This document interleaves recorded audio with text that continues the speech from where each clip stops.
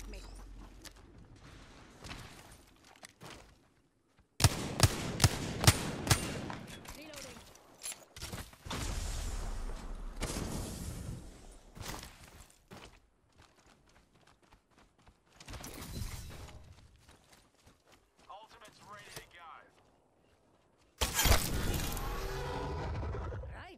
That was the last one in the squad. That kill was fan bloody Mix, check out.